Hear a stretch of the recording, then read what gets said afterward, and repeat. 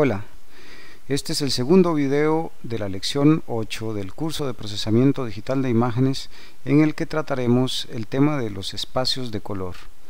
Eh, la agenda es un poco larga, vamos a definir qué es un espacio de color y vamos a empezar a ver diferentes tipos eh, de espacios de color, vamos a repasar los espacios eh, triestimulares o eh, y espacios de cromaticidad del CIE. Vamos a repasar los espacios que más se usan en procesamiento de imágenes, en particular el RGB. Eh, vamos a, ver espacios de color hechos para mm, homogeneidad en la percepción del, color. Y por último vamos a ver bueno, los espacios que aparecen con bastante frecuencia en, eh, lo que son interfaces con cámaras y otros dispositivos. Y finalmente vamos a repasar algunos espacios que todavía aparecen con bastante frecuencia en la literatura, pero que los expertos en colorimetría recomiendan dejar de usar, que son espacios que aún hoy en día aparecen bastante en lo que son interfaces de usuario. Em, primero vamos a definir qué es un espacio de color. El espacio de color es simplemente un sistema de referencia para especificar colores. Esta especificación depende muchísimo de la aplicación que tengamos, eh, lo que implica que vamos a tener una alta diversidad de espacios de color. Eh, de hecho es bastante confuso el, el, tema y si ustedes buscan literatura van a encontrar incluso muchas definiciones contradictorias. Em, con esto quiero hacer la observación de que en este video puede ser que tengamos información falsa, simplemente yo intenté encontrar eh, las fuentes más confiables para darles la información que aquí presento. Em, bien, como les decía, cada espacio de color va a tener un ámbito de aplicación muy particular eh, y es, está la diversidad de aplicaciones para el color em, que incluso por eso se dificulta, digamos, haber definido un único formato estándar. El punto de partida son los dos espacios que vimos en el video anterior. El primer espacio importante es el, espacio del XYZ, de la Comisión Internacional de Iluminación, que va a ser como nuestro punto de partida, el espacio maestro, podemos decirle así. Em, y para analizar colores se usa mucho la separación entre luminosidad y cromaticidad, que ya vimos, y entonces este es el espacio de cromaticidad eh, YXY. En despliegue de información el estándar es el RGB, esto va a seguir siendo así por bastante tiempo. O sea ya finalmente los dispositivos físicos como televisores monitores en computadoras y todo esto lo que van a tener es emisores que van a emitir luz roja verde y azul. Cuando vamos a imprimir vamos recuerden que estos eran los colores primarios verdad eh, aditivos si nos vamos al dominio de impresión entonces necesitamos los colores primarios subtractivos eh, que eran el, cian eh, el amarillo y el magenta. Entonces ese es un espacio de color también con bastante frecuencia utilizado. Eh, un reto que, vamos a aparecer, que va a aparecer recurrentemente en este video es cómo hacemos para que em, cosas que yo despliego por medio de impresión, por ejemplo, se vean muy parecido o igual a algo que yo despliego en un monitor. Bien, eh, vamos a hablar de los espacios de color eh, perceptivos que definió la Comisión Internacional de Iluminación, o el CIE, eh, que son el espacio LAB y el espacio LUV. Em, bien, hay espacios de color diseñados particularmente para codificar eh, eh, imágenes y video digital. Ahí tenemos em, representantes como el YV o el YCBSR. Em, y por último tenemos espacios de color en peligro de extinción, pongámoslo así, que se basan en digamos, son muy útiles para que un usuario en una interfaz elija algún color que sabe que es un color verdoso, que yo lo quiero un verde fuerte y que yo lo quiero claro o lo quiero oscuro. Entonces, en esa separación de los tres conceptos que habíamos visto de matiz, saturación e, y luminosidad, mm, todavía, digamos, tienen su aplicación, pero para ya especificar formalmente colores o para comparar colores o incluso para procesar imágenes a color, estos espacios son eh, poco convenientes, incluso los expertos en colorimetría los, eh, recomiendan no usarlos más y usar equivalentes a estos espacios que existen basados en espacios perceptualmente eh, correctos, digamos. Bien, eh, espacios de color tenemos dos grandes familias, están los espacios dependientes del dispositivo. Esto lo que quiere decir es que el color que percibe el usuario no solo depende de las eh, particularidades o digamos de las coordenadas que vemos en el espacio de color. Por ejemplo si yo doy un valor de RGB lo que el usuario finalmente percibe no necesariamente eh, es siempre lo mismo. Pues también va a depender de cómo esté configurado el equipo reproductor. Por ejemplo en un monitor ustedes pueden seleccionar la temperatura de color utilizada. Algunos monitores sofisticados tienen ya configuraciones previamente definidas por si quieren ver películas o si quieren trabajar en, aplicaciones de computador, etcétera, etcétera. Y todas esas configuraciones nos alteran cuáles son los colores exactos que está percibiendo eh, la persona a fin de cuentas.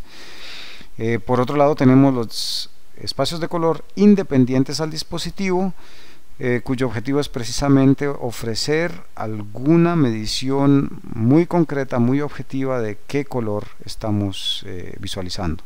Aquí les voy a recomendar dos lecturas. Eh, uno es la lectura de conversiones entre espacios de color de Robert C. Ford este documento lo encuentran en, la misma página de Poynton, que es el, eh, perdón, que es el segundo documento que, eh, que les recomiendo, que es ver la, la, lista de preguntas frecuentes sobre color de este señor Charles Poynton, que es una de las, yo diría, de las personas más reconocidas en este momento sobre estudio de color.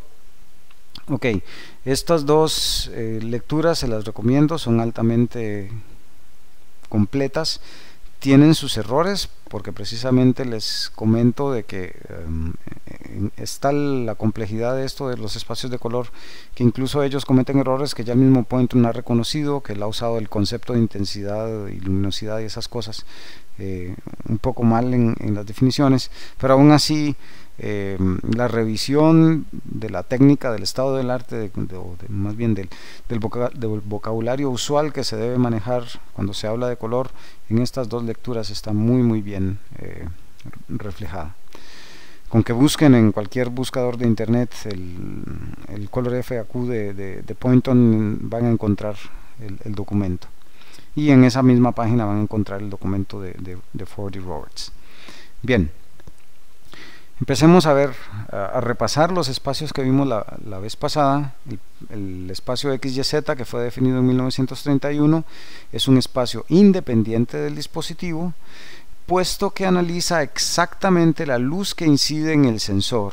Y lo que hace es ponderar el espectro de esta luz incidente por curvas estándares que habíamos llamado XYZ entonces lo que hace es que el color X esté definido por la, mm, digamos, la potencia o el, área bajo la curva del producto de la, del espectro de la luz incidente por esta curva normal o, curvas de observadores estándares, o sea, si fueron determinadas. Y bueno, la ponderación de esta curva, el área de eso es lo que me dice coordenada X.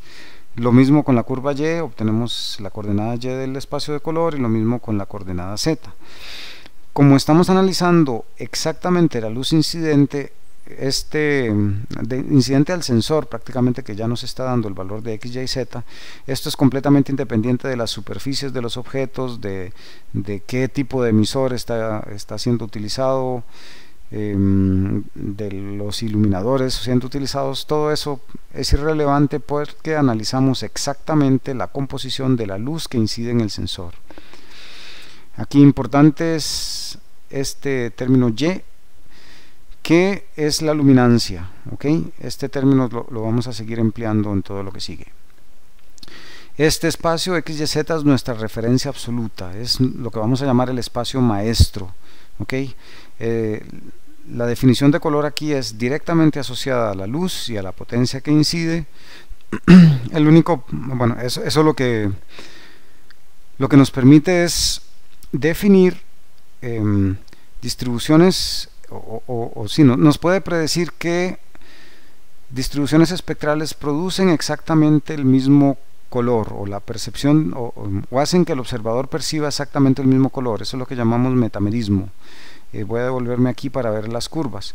Ustedes observan aquí en la, en la curva roja yo podría mm, producir el mismo estímulo rojo con un área por acá o con otra área eh, más bien con otra potencia por acá un poco más grande porque aquí el valor del rojo es menor o sea diferentes estímulos espectrales al ser ponderados por estas funciones x, y, z me van a producir los mismos valores entonces em, eso, eso, es lo que quiere decir con metamerismo, que existen diferentes distribuciones espectrales que producen exactamente el mismo color y el espacio x, y, z predice eso perfectamente.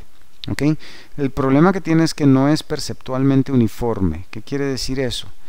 Que si nosotros en el espacio de color x, y, z, voy a dibujarlo así en, tres dimensiones, tenemos x, y y z, si nosotros vemos cómo se percibe la diferencia, digamos, en dos, entre dos colores por este lado, y mantengo esta distancia euclidiana en el espacio x, y, z como espacio matemático por acá, aunque tenga la misma distancia estas dos cosas digamos el color la distancia que yo percibo entre el color A y el color B y la distancia que yo percibo entre un color C y un color D pueden ser radicalmente diferentes eso es lo que se refiere que no es perceptualmente em, homogéneo o uniforme perdón. Eh, también la vez pasada hablamos del espacio de cromaticidad donde la idea es separar eh, información de cromaticidad que está asociada al matiz y a la saturación de un color con la información de la luminancia. Entonces, en este espacio eh, YXY lo que vamos a hacer es separar la información de luminancia, que es el canal Y, definido como, como está en el espacio, y vamos a, usar los em, dos componentes de cromaticidad X y Y. El Z se puede calcular, pero es innecesario, puesto que Z es igual a 1 menos X menos Y ok o dicho de otra forma x más y más z es siempre igual a 1 ok y estos espacios x y y nos engendran el diagrama de cromaticidad que vimos la vez pasada que es este diagrama usual que tenemos con si x está aquí y y está acá. Entonces tenemos como una especie de, de, de lengua. Déjenme ver cómo sería como algo así que teníamos allí. Estos son los colores válidos. Aquí en, el borde tenemos los colores eh, digamos monocromáticos o sea eh, con solo una componente espectral en el espectro de luz visible y con la combinación de, tres valores de colores aquí podemos producir digamos todas las cromaticidades posibles. ¿ok? Vean que es simple plantear un sistema de ecuaciones para a partir de los componentes X y Y minúscula y Y mayúscula, volver a encontrar quiénes son mi X y mi Z en el espacio maestro, en el espacio X, Y, Z mayúsculas. Observen también que cuando Y es cero, o sea un color está totalmente sin luminosidad, eh, yo no, no, no, puedo invertir los componentes percibidos. Si Y es cero, puedo obtener un X y un Z, pero aún así eso es información digamos que irrelevante puesto que si Y es cero lo que tengo es negro y el negro es por definición acromático puesto que negro significa que no entra ninguna luz o sea hay cero potencia lumínica y por tanto no puedo estimular ningún sensor y por tanto a eso no le puedo asociar eh, ningún, ninguna información cromática digamos. Ok un término interesante es de que eh, en un espacio de color no necesariamente yo puedo eh, vamos a ver todos los valores o todas las coordenadas posibles en ese espacio de color no necesariamente son colores visibles o percibibles entonces el subconjunto de, colores en un espacio es lo que vamos a llamar el, eh, la gama. En inglés se llama eso el gamut pero en español se llama la gama del dispositivo la gama del proceso ok entonces, por ejemplo, voy a ponerles aquí este sitio de Bruce Lindblom. Eh, si descargan la presentación, el, PDF de la presentación, pueden, ahí está el, link. Él tiene esta aplicación que es bastante interesante, un visualizador de, la gama. Entonces, por ejemplo, en este, en este diagramita lo que estoy haciendo es eh, presentando eh, cómo se vería el gamut de del CRGB pero en el, eh, visualizado en el espacio de color de cromaticidad XYY ¿ok? o sea yo tengo un cubo de colores RGB eh, producidos ahí por algún monitor estandarizado digamos con este CIE y entonces los colores que yo podría representar son solo estos que aparecen en esta figura tan extraña donde tenemos a X minúscula y Y mayúscula ¿ok? y tenemos aquí al, al, Y mayúscula. Eh, y esta figura tan extraña son los colores representables. Aquí abajo ustedes ven la em, la lengua esta famosa de, de eh, cromaticidades posibles pero como estamos usando los colores primarios RGB entonces tenemos aquí el verde aquí tenemos el azul aquí tenemos el rojo.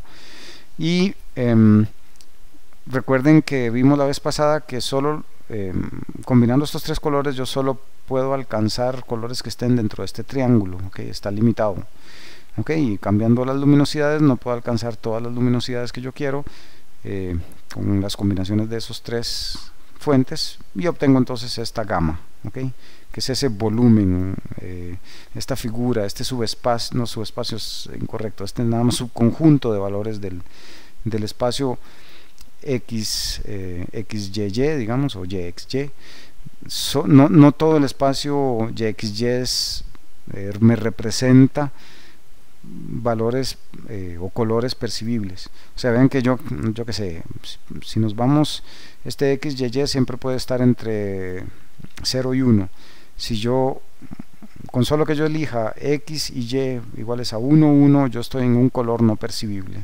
Eso no existe, está totalmente fuera de lo, de lo alcanzable con, con el espectro visible. Bien, eh, pasemos entonces a la siguiente lámina. El espacio RGB, ok, acabamos de repasar los espacios XYY y XYZ. Esos son espacios independientes al dispositivo. En la otra cara tenemos a un espacio que es completamente dependiente del dispositivo. Esto sería el, famoso espacio RGB que es quizá el que más vamos a estar utilizando en el curso porque simplemente lo que me representa es em, sí, valores de colores primarios aditivos rojo, verde y azul es muy utilizado en todo lo que son eh, ya dispositivos de despliegue como tubos de rayos catódicos que ya casi están en peligro de extinción eh, televisores de plasma, de transistores de capa delgada, de em, ¿cómo se llama? pantallas de cristal líquido. Eh, el único problema que tenemos con el RGB es que en la literatura técnica y en la literatura científica ustedes van a encontrar diferentes significados para lo que significa en realidad RGB. RGB podría significar simplemente la tensión eléctrica aplicada a cada canal, a los emisores de cada canal. Eh, o podría significar más bien la, luminancia de cada canal que la luminancia asociada a la potencia que sale en cada canal está asociada con una relación de potencia gamma eh, por la tensión eléctrica. Eh, de hecho, hay un, el mismo autor, Poynton, de, de las preguntas frecuentes de color, este autor tiene otro documento que es preguntas frecuentes sobre gamma porque hay también una gran complejidad de qué significa exactamente gamma y la corrección gamma. También les recomiendo mucho usar esa, esa referencia eh, de Poynton para que, para que se comprenda un poco eh, todo lo asociado a este coeficiente. Ok, también puede significar el RGB simplemente unos valores que aquí voy a representar con primas eh, que son no lineales para nada y están asociados a la, a la tensión eléctrica pero ¿qué quiero decir? Eh, que, se sigue esta relación ok em, yo digitalmente voy a usar unos valores R' que se van a elevar a una potencia gamma digamos 2.2 por ejemplo y eso se mete en una ecuación lineal o sea se le va a poner un offset y se va a amplificar de cierta forma y eso me da el valor R que es la tensión eléctrica que a final de cuentas le aplico al, monitor entonces em, esto es lo que la tarjeta gráfica finalmente va a enviar Entonces, esta, cuando ustedes oigan RGB puede significar cualquiera de estas cosas. ¿ok? Entonces, es un poco complejo saber de qué está hablando uno. Eh, para fines del procesamiento de imágenes vamos a asumir, así como un acto de fe casi, que estos valores RGB van a representarme una magnitud que perceptualmente el, usuario final lo va a percibir linealmente. ¿ok? O sea, ¿qué quiere decir eso? Que de 0 a 255, por ejemplo, eh, si yo estoy en el canal rojo, yo voy a percibir esto como un cambio, un gradiente gradual desde 0 hasta 255, que es desde negro hasta un rojo, ¿ok? Y lo voy a percibir eh, linealmente. Em, eso es lo que vamos a asumir y entonces podemos procesar esta historia con todas las técnicas que, vamos a ver em, sin ningún problema. Sin embargo, puede ser que el RGB que estemos manejando, que los datos que nos lleguen no estén dados de esta forma. Entonces tendremos que aplicarle nosotros este tipo de reglas para corregirlo antes de procesarlo. Eh, la necesidad de eso pues dependerá de la aplicación y de los datos por supuesto que estemos recibiendo. ¿Ok? Bien, Aquí estamos visualizando una forma de representar el, espacio eh, RGB. Este eje, digamos, lo podemos proyectar hasta acá, va por el lado de atrás. Acá tenemos la otra parte, por acá también. ok em, entonces este es el eje azul, obviamente. Vamos a poner aquí algún color que se vea bien este es el eje azul opa, perdón. Este es el eje verde este es el eje rojo ok. Entonces ahí tenemos eh, toda la gama de colores está en este cubo ok. Negro va a estar en, este, en el origen prácticamente y blanco va a estar en, la esquina opuesta al origen del cubo. Em, a esta línea entre el negro y el blanco es una línea en la que todas las tres coordenadas son iguales. Ok vamos a ver si lo logro graficar más o menos. Aquí tendríamos si tiene esta coordenada roja tiene esta coordenada azul y esta misma coordenada en z digamos.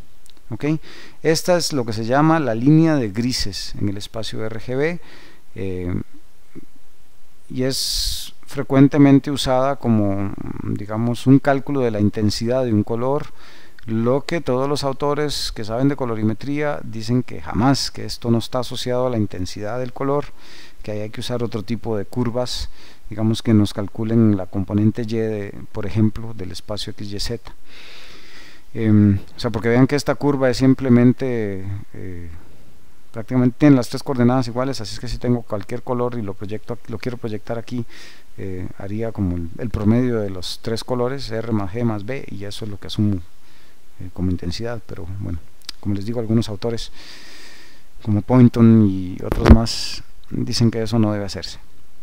En todo caso eh, esta curva se llama la línea de grises y este es bueno el cubo RGB vean que también aquí en las, en las esquinas que no hemos etiquetado tenemos los colores primarios subtractivos. O sea aquí tenemos el amarillo aquí tenemos el magenta y aquí tenemos el cian ¿ok? entonces los colores primarios subtractivos son siempre la suma de dos colores primarios aditivos. O sea el cian es la suma del verde y el azul el magenta del rojo y el azul y el amarillo del verde y el rojo ok bien el, problema fundamental que estamos viendo con el RGB además de que no se sabe exactamente a qué magnitud nos están dando y nosotros nada más por acto de fe vamos a asumir que los valores que nos dan están linealmente asociados a la percepción eh, de intensidad del rojo, del azul y del verde eh, ¿sí? Entonces bueno va a depender montones del dispositivo que se use. O sea si ustedes me cambian la configuración del monitor en este momento eh, este color que está producido con ciertas coordenadas en el espacio RGB se va a percibir de diferentes formas simplemente porque ustedes cambiaron la, configuración del monitor que están viendo. Em, incluso depende de muchos estándares. Vamos a, volver aquí al, a la aplicación esta de Bruce Lindblom eh, en este momento yo lo que puse fue el espacio eh, del CIE RGB yo podría ver aquí cómo se ve el espacio RGB o la cromaticidad del espacio RGB si yo tuviese un televisor europeo que usa PAL-SECAM ok eh, aquí algo le pasó a esta aplicación. Opa un momento vamos a repasar esto eh,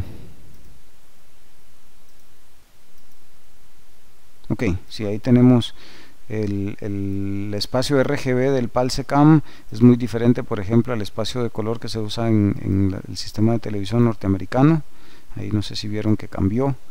Es, hay otros eh, intentos de estándares para televisión que nos cambian un poco, por ejemplo lo que usa Adobe para, para procesar imágenes RGB, también cambia un poco la, la figura, etcétera, etcétera. Ustedes aquí en esto pueden usar eh, esta aplicación para ver dónde anda la gama de colores eh, que cada uno de esos dispositivos digamos utiliza. bien.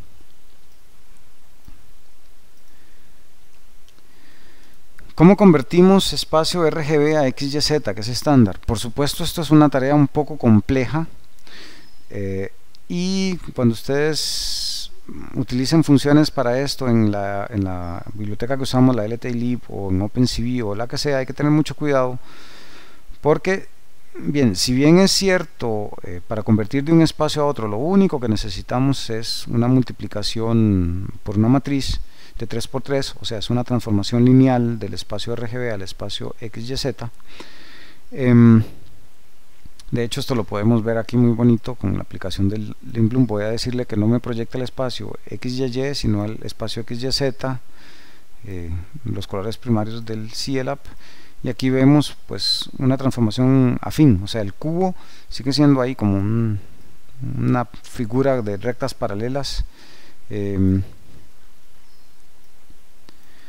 que eh, bueno, se, distorsionan porque simplemente los coeficientes de, la matriz eso es lo que hacen. Eh, el detalle es que esta matriz depende completamente tanto del dispositivo como los parámetros que use ese dispositivo. O sea, qué temperatura lo estoy poniendo que quiero ver, o sea, mm, qué blanco de referencia estoy usando, todo ese tipo de cosas me afectan cómo está esta temperatura, eh, perdón, esta matriz. Así, por ejemplo, si yo quiero eh, uno para determinar esta matriz lo que hace es, por ejemplo, voy a estimular eh, con, el RGB, voy a activar el verde puro y voy a tirarlo al monitor, yo quiero ver ese verde puro, ok, y si ustedes hacen la operación aquí, este 0 me va a eliminar esta columna, este 0 me va a eliminar esta columna y prácticamente me queda G multiplicado por esta columna y yo lo que tendría que hacer es tener aquí al radiómetros o equipos así sofisticados, eh, dispositivos para medir color, para determinar exactamente cuál radiación está llegando al sensor de X, de Y y de Z en el CLAP y entonces despejar quién es XG, YG y ZG con este valor de digamos 255 le pongo si tengo un sistema de 8 bits estimulo el monitor veo ese verde mido externamente cuál es la intensidad de luz que está recibiendo el, observador y calculo entonces estos coeficientes como ven es bastante complejo porque si yo le cambio el brillo, el contraste al monitor, pues ya cambiaron todos estos coeficientes. Así es que es prácticamente imposible dar simplemente una matriz que ya esa matriz me represente la, conversión de RGB a XYZ. Por simplicidad, eh, en la mayoría de las bibliotecas simplemente se da una matriz usando una especie de monitor estándar. Pero entonces eso lo que quiere decir es que estos valores que uno está obteniendo son completamente no creíbles. O sea, si uno usa una matriz que no fue estimada midiendo exactamente el dispositivo de despliegue que se está usando, pues los valores que uno obtenga aquí no corresponden a los valores del CIE.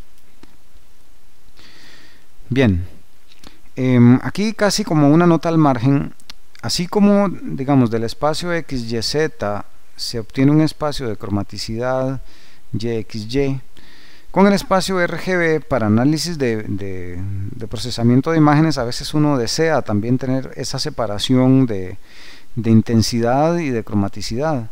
Y esto se hace en un espacio que se llama el espacio RGI vean que es igualmente mm, poco confiable como el espacio RGB puesto que proviene directamente del espacio RGB lo que se hace es definir intensidad simplemente como el promedio de RGB ¿ok? y luego eh, definir las cromaticidades como R entre, entre tres veces I, o sea, entre R entre R más G más B, y esto es lo mismo que G entre R más G más B. Podemos definir un B minúscula, pero al igual que en el caso de X y C es innecesario, puesto que B es igual a 1 menos R menos G. Okay. Aquí vemos dos representaciones de la cromaticidad, o sea, este es el espacio, este es la, el eje R y el eje G, donde para esta representación se usó un i constante igual a, un tercio, digamos.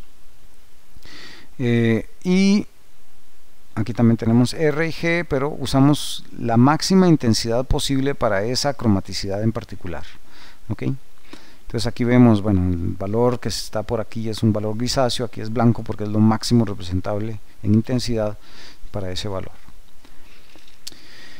Bien, con respecto a los espacios para impresión, em, se usan dos, o sea, espacios basados en pigmentos, no en fuentes de luz. Recuerden que el pigmento lo que hace, los pigmentos primarios, el cian, el magenta y el amarillo, lo que hacen es absorber un color primario aditivo. O sea, cuando ustedes tienen un papel con tinta eh, cian, lo que va a hacer esa tinta cian es absorber un color primario y reflejarles el, azul más el verde que es lo que eh, lo que corresponde al cian. O sea ustedes le dan luz blanca a, a este pigmento cian eh, entonces llega luz blanca y lo que va a pasar es que se van a reflejar el azul y el amarillo y lo que hizo ese pigmento fue absorber el primario rojo entonces de ahí viene la, la idea esta de primarios aditivos y subtractivos para convertir entre RGB y cian, magenta y amarillo, lo que simplemente hay que hacer es a un vector de unos restarle el RGB o al revés. Eh, ok, simplemente se despeja aquí que RGB es igual a 1 menos cian, magenta, amarillo. Ok, esta conversión por supuesto que es poco confiable en el sentido de que el espacio RGB es poco confiable, no es un espacio independiente del dispositivo. Así es que cuando hagamos estas conversiones aquí posiblemente lo que imprimamos y lo que vemos en pantalla sean cosas completamente diferentes. Eh, un espacio muy utilizado en impresión es el, el, espacio que no usa tres colores sino cuatro colores entre comillas que es el cian magenta amarillo y negro negro representado con K la idea es que cuando uno imprime si ustedes producen el negro imprimiendo cian magenta y amarillo además de que es muy costoso estar usando tanta tinta la, eh, estar, digamos, inyectando tinta al papel de tres fuentes humedece mucho el papel, el papel se arruga y tiene un montón de inconvenientes. Entonces la idea es sustituir, digamos, la componente común de las tres en una sola componente negra. Y esa componente negra va a ser simplemente el valor mínimo entre cian, magenta y amarillo. Okay, recuerden que negro en este espacio sustractivo es cuando cian, magenta y amarillo son todos al máximo. Okay. Eh, entonces si yo quiero un negro en el espacio cian magenta amarillo tendría que poner digamos 1 1 1 si estamos usando una normalización digamos que todas nuestras componentes van de 0 a 1 de hecho si no fuera así esto no funcionaría. Aquí va el valor máximo que estemos usando. Ok entonces si tengo 1 1 1 mi factor negro es 1 y ya cian magenta y amarillo son 0 lo que necesito. Ok. Eh, luego Em, si tengo colores muy claros entonces simplemente lo que quiero dejar es el papel sin nada de imprimir. Aquí el negro me va a decir esto sería 000 que el negro es 0 y simplemente ahí podemos calcular que, seguirá siendo prácticamente 0 cada componente. Bien en todo caso la idea es pasar todo lo oscuro del color a esta componente K ¿ok? entonces así eh, convertimos del cian magenta amarillo al, al cian magenta amarillo negro y aquí tenemos la otra parte cuando ya tengo cian magenta amarillo y negro ¿cómo hago para, para llegar al cian magenta y amarillo sin negro? ¿ok? entonces estas son esas fórmulas eh, Por supuesto, si ya esto se quiere hacer profesionalmente, lo que quiere decir, digamos, en un estudio de impresión, diseñadores gráficos o algo, ellos trabajan en la pantalla y tienen colores que ellos quieren que cuando se imprima salga exactamente el color que están viendo.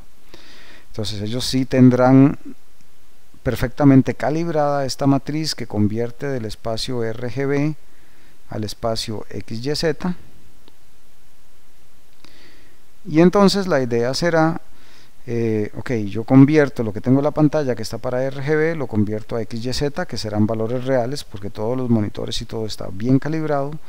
Y luego a partir de este XYZ podemos hacer todas las conversiones a un cian, magenta y amarillo también calibrado. ok Que se hace lo mismo, lo que hago es con un iluminador, como tengo pigmentos, lo que tendré es una fuente de luz bien calibrada y entonces con esa fuente de luz y los pigmentos mido para cada pigmento cuál es su componente X, Y, Z concretos y con esa, bueno, así con todas las calibraciones necesarias, encontrar con cuál matriz puedo convertir estas coordenadas X, Y, Z al cian, magenta y amarillo.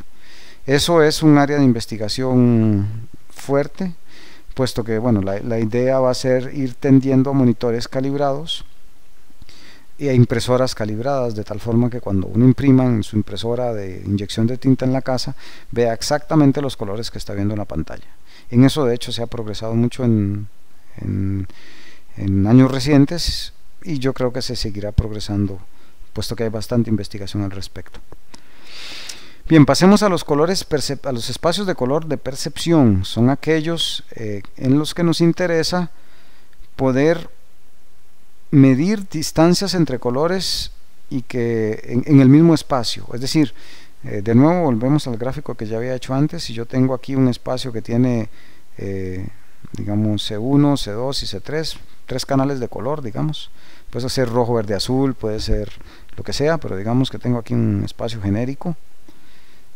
Eh, entonces la idea será que si yo observo dos colores por acá que están a una cierta distancia de y esa misma distancia la aplico yo por acá entonces la idea es que yo como humano diga sí, la distancia entre este verde y este azul es muy parecida a la distancia entre este gris y este amarillo suena un poco extraño pero bueno, hay experimentos eh, muy interesantes para que uno diga así, como la, la distancia entre estos dos colores es parecida. En los espacios que hemos visto hasta ahora eso no se da. ¿Ok? Uy, perdón.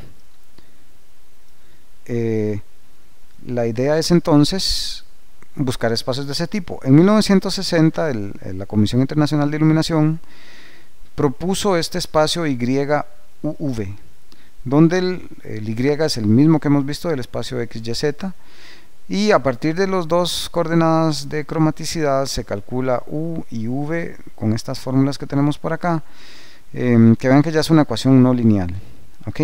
La idea era precisamente alcanzar cierta uniformidad perceptual, que no se alcanzó bastante bien, así es que mm, poco tiempo después se intentó mejorar ese espacio con este eh, espacio Y V', donde el U' se mantuvo.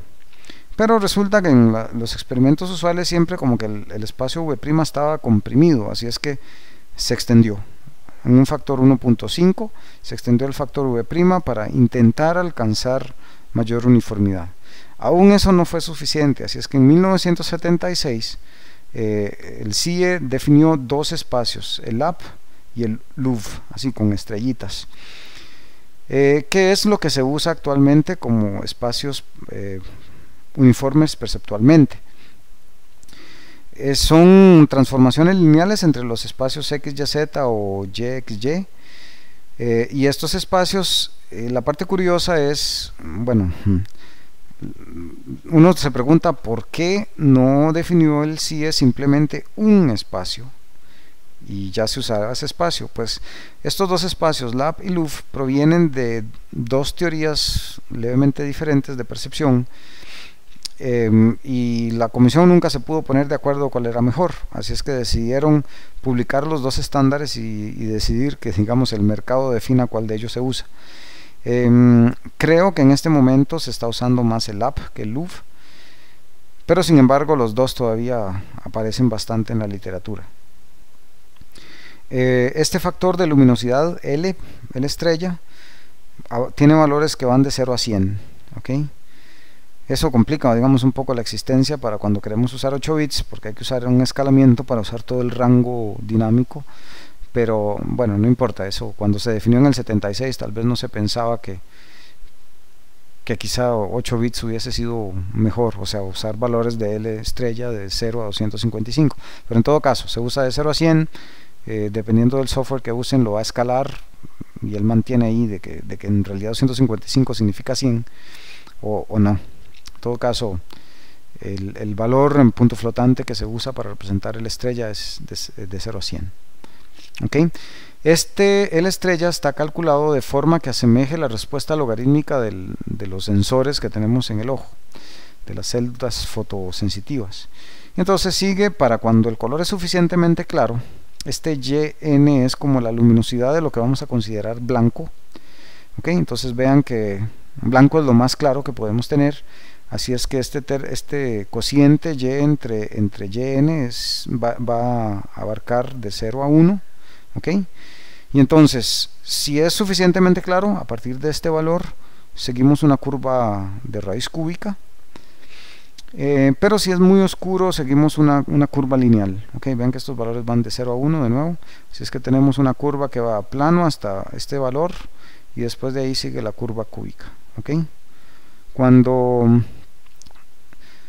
cuando la raíz cúbica de vamos a ver el valor máximo que puedo obtener yo aquí es 1 así es que el valor máximo que voy a poder obtener de luminosidad va a ser uh, raíz cúbica de 1 que es 1 por 116 eso 116 menos 16 da el 100 que les dije que es el valor máximo alcanzable.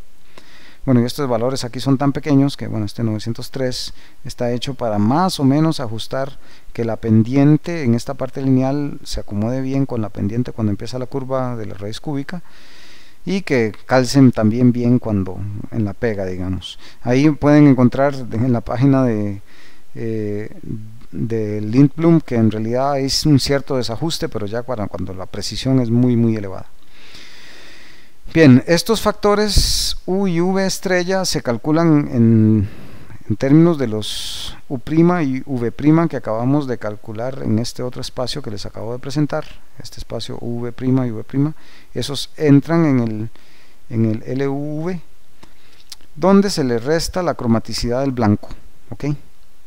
en ese espacio perceptivo eh, U', V'. ¿ok? Eh, usualmente, por ejemplo, se usa un blanco que se le llama el D65 en televisión, entonces ahí uno tiene estos valores para poder calcular el, LAV, el, el V. Perdón. En el LAB se usa exactamente la misma definición de la estrella. ¿ok? Lo que cambia es cómo se definen el A y el B, que ustedes ven que es otra fórmula completamente diferente, donde se usa una función auxiliar que, bueno, Sigue también esta tendencia de, eh, de raíz cúbica. Si ustedes vieron la otra eran funciones racionales, el, el U', V'. En este mm, se sigue una raíz cúbica también para un cierto rango de valores eh, y lineal para cuando es eh, digamos muy bajo ese valor aquí las referencias son estas del blanco pero se dan en el espacio XYZ que mm, se usan digamos las coordenadas x, y, z del blanco que se use en, el sistema. Ok. Em, bien, esos eran los espacios perceptivos. Aquí en esta página de, de, de Lindblom pueden ver muchas cosas hechas con esto. Por ejemplo, déjenme buscar aquí la gama de colores del lab, por ejemplo. Esta es un, una página que bueno calcula bastantes cosas en 3D de hecho vean que no pude no, pudo mostrarlo aquí eh, bueno les dejo a ustedes mostrar ese gamut.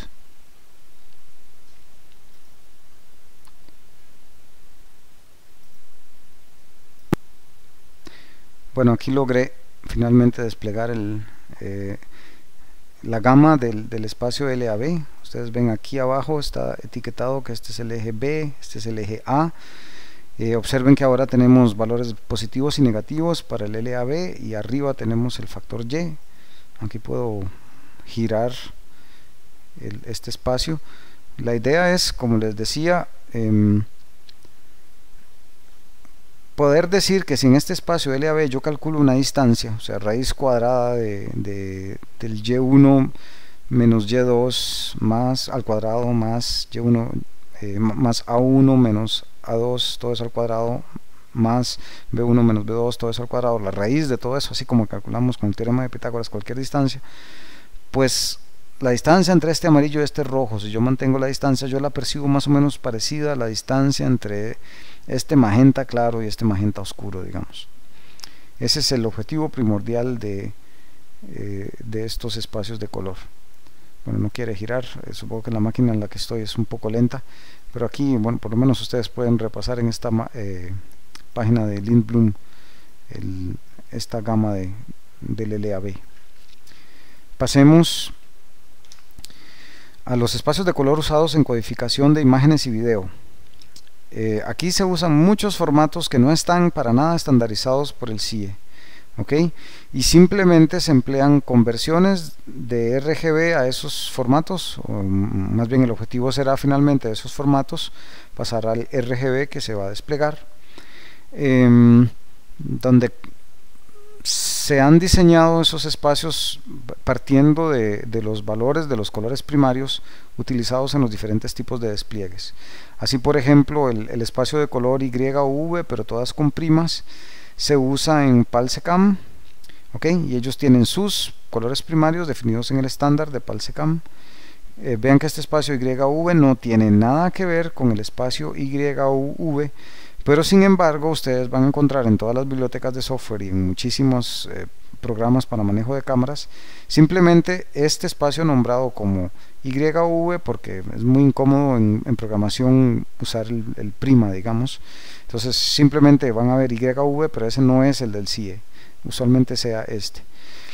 Eh, en, el, NTSC, el Sistema Norteamericano de Televisión, se definió otro estándar de color, el YIQ, que es parecido, usan simplemente otros eh, factores en la conversión de RGB a, estos factores. E incluso en la televisión digital se usa el YCBCR, pero sin embargo este formato también usualmente en software lo van a encontrar denominado YV, lo cual es incorrecto puesto que es, eh, tiene este otro formato. O sea, aquí con mi objetivo primordial en este video no es ver, darles todas las conversiones que hay, para eso están las literaturas, pero sí para que empiecen a tener cuidado con que lo que se llama de una forma en algún documento no necesariamente es, y uno tiene que estar bastante atento para poder em, decidir eh, en realidad de qué espacio le están hablando para hacer las conversiones correctas cuando uno necesita hacer el software para eso. Otra nota aclaratoria que me interesa, una advertencia, es que no hay que confundir para nada los espacios de color con las tramas de color. Eh, tramas de color tal vez o, mm, o, flujos de datos de color o codificaciones de color. Esto es que cuando por ejemplo ustedes están desarrollando software que usa la entrada de alguna cámara web o de alguna cámara industrial, Usualmente los fabricantes les van a decir, yo les voy a dar a ustedes los datos de las imágenes en un formato YV411 o, o YV444 o 422, etcétera, etcétera. Hay una gran cantidad de estas tramas. Estas tramas no tienen nada que ver con el espacio de color. O sea, este YV, de hecho, usualmente está mal, mal dicho porque no, no es el espacio YV ni del CIE ni el del sistema PALSECAM. Usualmente cuando ustedes abran formatos digitales les dicen el formato YV, en realidad se están refiriendo al formato eh, YCBCR. Pero aún así, independientemente, ese es el espacio de color, este es el espacio de color. Esto es simplemente la trama de datos. Y aquí una explicación rápida. Em, el sistema visual humano tiene más resolución para lo que es luminosidad que para lo que es color. Entonces, lo que es el, Y, nosotros lo percibimos con muy buena resolución espacial, pero lo que son eh, los espacios Y y X no tanto. En todas sus variantes, vean que puede ser eh, en cromaticidad de XY, no lo percibimos tanto. Entonces, en todas las combinaciones que se hacen, donde se separa luminosidad de cromaticidad, eh, podemos enviar la información de cromaticidad con la misma resolución espacial, pero en realidad el ojo humano no lo percibe. Entonces, usualmente lo que se hace es que para cada píxel de em, intensidad de luz, por, decirlo así, yo no transmito un, un píxel de cromaticidad digamos U y otro píxel de cromaticidad V, sino para que para cuatro píxeles de intensidad de luz yo solo transmito un píxel de cromaticidad, digamos, eh, U y otro píxel de cromaticidad V. ¿ok? ¿Cómo codifico yo esta reducción de dimensión? Es lo que me dice esto. O sea, esto lo que me puede decir es, ok, yo le voy a mandar a usted un píxel eh, de Y y después le voy a mandar un píxel de U y después le voy a mandar otro píxel de Y y le voy a mandar un píxel de V. Y después que pasa en la segunda línea, le mando Y o aquí le voy a mandar U. Eh, todo ese tipo de cosas es lo que indican estos formatos. Ustedes pueden buscar, hay suficientes tablas en, el internet donde aparece qué significa cada uno de estos códigos. Eh, el 4 significa usualmente por cada 4 píxeles de intensidad entonces eh, lo que está aquí si no está, está muy estandarizado qué significa es ok voy a mandar dos píxeles de U o dos píxeles de V o mm, voy a mandar cada línea o cada otra línea no cierta información etcétera etcétera eh, después están, algunos de estos formatos son entrelazados, así como se los acabo de decir así. Algunos de otros formatos lo que hacen es enviar primero toda la información de Y y una vez que terminó eso mandan toda la información de U y una vez que, pasa eso mandan toda la información de V. Pero bien, esto ya no es el espacio de color, sino simplemente la, la trama, la codificación de los colores. Ok, eh, finalmente lo que me interesa hablar es muy por encima de espacios de color que todavía se usan en interfaces de usuario. Es lo que vamos a llamar la familia de los espacios HSL, de Hue, Saturation and Lightness, o sea, de matiz, saturación y, luminosidad. Em, ya todos los expertos de colorimetría dicen que uno no debe usar más estos espacios que son un poco viejos eh, sino que deberían reemplazarse todos ellos por los espacios eh, LAB o LUV o unos espacios que se derivan del LAB y el LUV pero que sí usan el formato digamos de coordenadas polares muy usual del HSL o de los HSL para ser correcto con el plural porque no es un espacio, son varios. Ok, en todo caso, toda esta familia de espacios van a ofrecerles a ustedes un eje de matiz que es el hue eh, un eje de saturación y un eje asociado a la luminosidad que algunas veces le, dicen intensidad, otras veces le van a decir valor, otras veces le van a decir eh, luminosidad, etcétera, etcétera. Em, de nuevo, estos espacios son útiles casi que en interfaces de usuario para cuando ustedes quieran em, indicar algún color, o sea, pero por, más por algo artístico, digamos, que yo quiero un color verdoso oscuro saturado, un color verdoso oscuro pastel, etcétera, etcétera.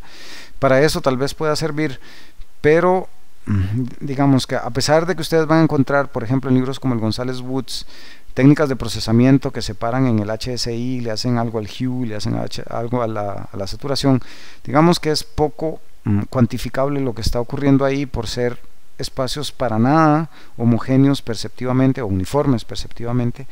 Y lo que está ocurriendo ahí es un poco que diríamos impreciso.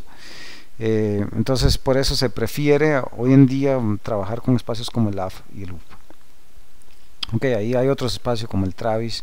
Por ejemplo el I es simplemente el R más G más B entre 3 que también los expertos en colorimetría dicen que hacer esto no tiene ningún sentido que es preferible usar algo parecido al, al, Y y este Y hay algunas conversiones eh, de R más G más B multiplicados cada uno de estos por alguna bueno, de hecho ya lo vimos, multiplicados cada uno de estos por, por, unos coeficientes que deberían determinarse dependiendo del despliegue, pero aún así, si se usa un despliegue estándar, entonces eh, tiene mucha más eh, validez visual este Y que haber calculado este Y de esta forma.